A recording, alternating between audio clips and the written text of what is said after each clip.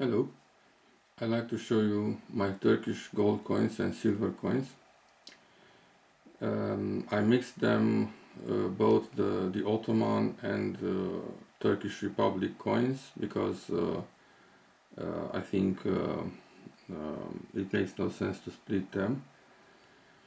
So I will try to show you in a chronological order and um, um, I will mix therefore I will mix silver with gold. Now the oldest Turkish coin I have it's a coin of 2 zolota this one. And I try to focus on, on it. Um, it was struck in if you um, look here it says 1110 which is the Islamic year that to the corresponds to the Christian Christian year uh, 1704 it was struck during Ahmed III Üçüncü Ahmed the Sultan of the Ottoman Empire. And if you look at the back of the coin I have to turn it 90 degrees. Um, this is uh, one uh, one extremely fine um, piece that I have. But you see that they used to try to uh, polish the coin on the edges just to to steal some silver out of it. Although it, I think it is struck in 465 so 465 uh, purity silver. So this is 2 zolota uh, struck in 1110 that is 1704 during Ahmed III which the Turkish people used to call it in, in native language Üçüncü Ahmed. Now, moving on, that's from the 19th century. The rest of the coins are uh, from 19 and 20, 19 and 20th century. This is a gold coin of uh, 100 kurush. And if we zoom in, you may see that this was struck in. So first of all, how we compute the date of uh, Ottoman coin, you need to go on the back of the coin and check what was the year when the Sultan came into power. And if we look here, we said we say that it's 1255. So on 1255, Abdul Majid I that is in native Turkish language Birinci Abdülmecid uh, came into power as Sultan. This uh, is, was struck in uh, Constantinople, uh, modern Istanbul.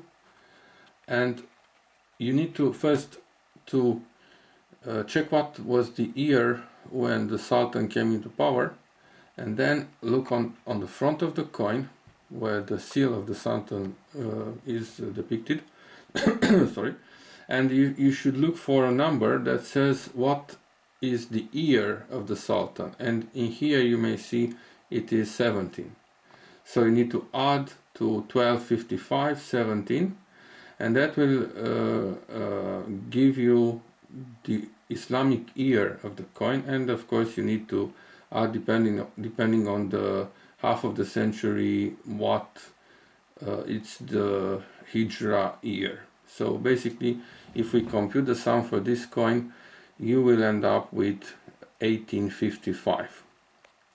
So this is the year when the coin was struck. It weighs 7.216 uh, gold of 22 karat. That is uh, the purity of the, the, usually the purity of the uh, Turkish lira because this was called uh, 100 kurush but was uh, later known as 1 Turkish lira.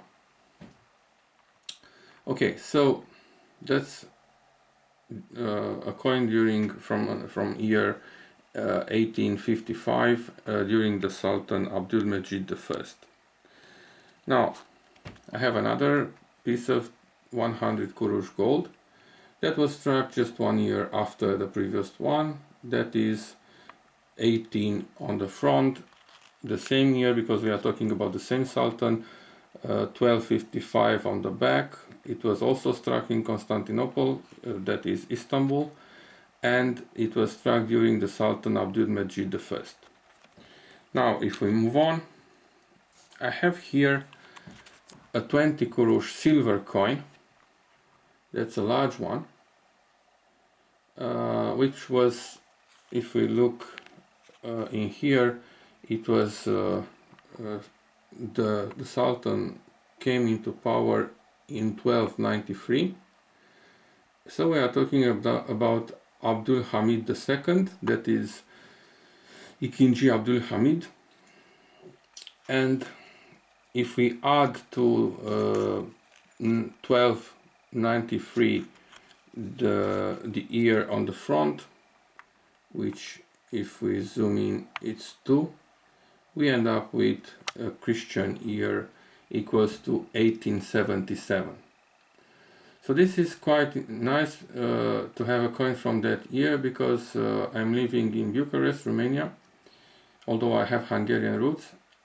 And uh, uh this year it's the year when, when Romania declared its independence. So they fought against the Turkish, uh, the, against the Ottoman Empire, together with the Russian army. I think it was uh, uh, the first and the last one, the last time when uh, Russians actually helped us, but this is another story. So it's nice to have a coin that was struck in that year um, in the in the opposite side also has some Turkish roots, so uh, it's not uh, that I don't appreciate the coin as being from the Ottoman, Ottoman Empire and not just the year when Romania became independent. Now, if we move on, I have here a coin of five, uh, five kurush, five kurush silver coin that was struck um, by the government of the same Sultan that came into power into uh, 1293. So we are talking about about Abdul Hamid II, Ikinci Abdul Hamid, and this time we are talking about year 33, which is the equivalent if we add uh, 1293 uh, by uh, 33, we end up with the Christian year 1906 move on. Let's move on to the next one which is also a 5 kurush silver coin. Uh, struck let me look at the back of the coin. So uh, we are talking about the sultan that came into power in the year 1327 and this one was called Mehmet V or uh, as it is known in the history Reshat. Mehmet, Mehmet V, the Turkish uh, called them Reshat or Beshinci Mehmet. So this one was struck in the first year when the Sultan came into power, which is 1909. It is also a silver coin, a, fi a five kurush. Now let's move on. This is a 100 kurush gold coin, also struck in 22 karat gold.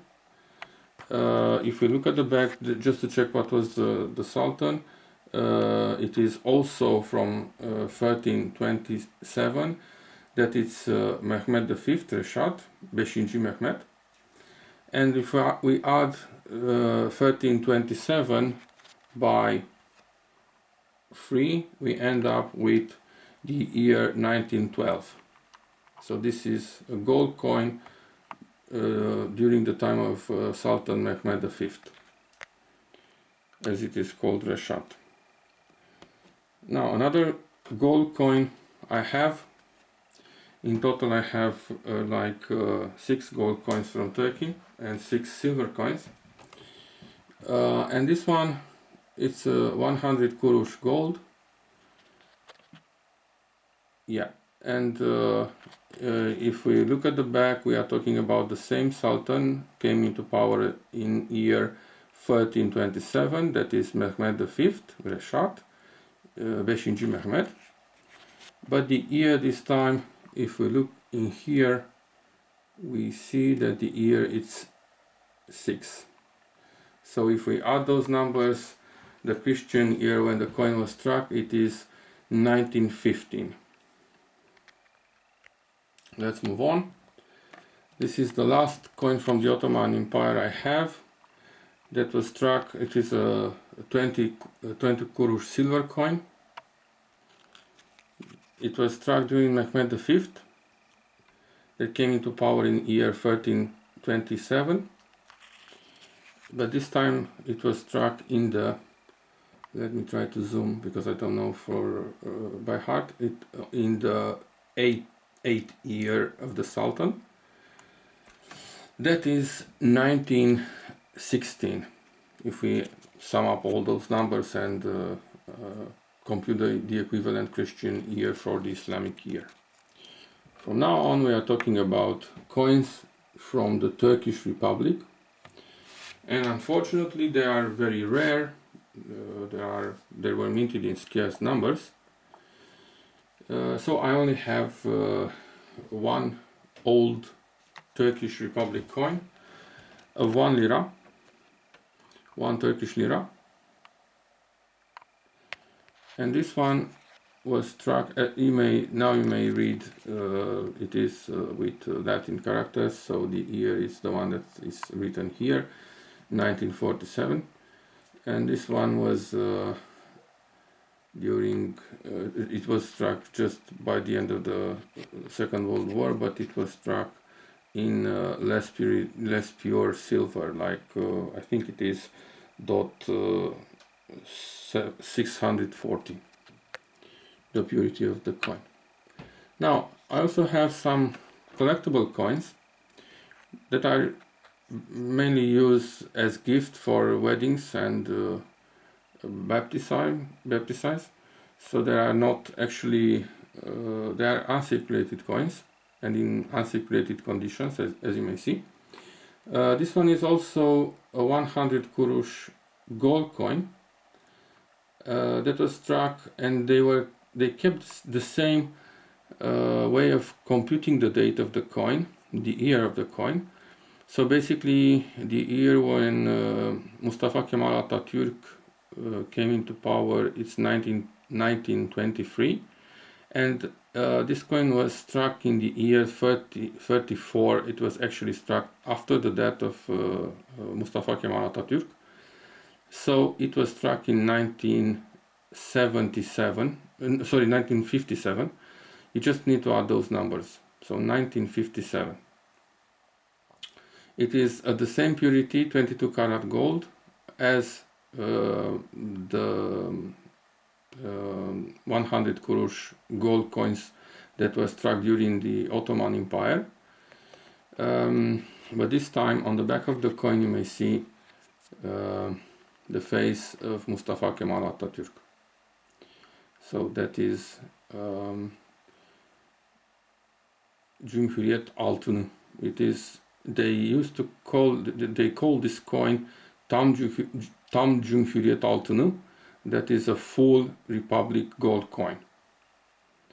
So this is although you may see some scratches on the face of the coin at this kind of zoom uh, in uh, with uh, the naked eye you won't see it. So it's really in uncirculated conditions. Even the surface of the coin it is really well preserved I also have um, a jewelry 100 kurush gold coin. Uh, they call this uh, tam zinet altını, that is uh, full uh, jewelry coin. Uh, it is also, they also name this the value of the coin to be 100 kurush or 1 Turkish lira. But of course, the value of the content of gold in the coin it is more than uh, not just 1 lira, but uh, usually you may buy this uh, by uh, you, you, may pay uh, around uh, 500 bucks for such coin in these conditions. So this is they used to to make jewelry out of this, like to wear this on a neck on a necklace on a necklace. I mean around your head, and this coin it is uh, if we look closely with the zoom it was minted in 1971 and uh, it is really a nice design. Uh, there were coins like this Tamzinet altını also struck by the Ottoman Empire but they are very rare um, most of them were melted melted down because uh, um, at some point the, the gold was uh, very rare and uh, it was the the demand for gold to make jewelries was uh, huge so they they had to melt this.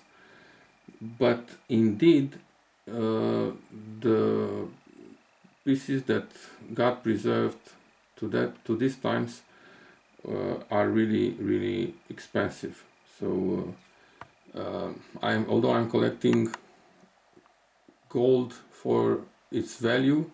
I also collect collect gold coins for uh, uh, for the coin itself, but I I prefer not to invest too much in the value of the coin, the historical value of the coin, the uh, let's say uh, the value of the coin being rare, because they are not very liquid, so it's not very it's, it is not very easy to sell them at the good price at a good price if you need money.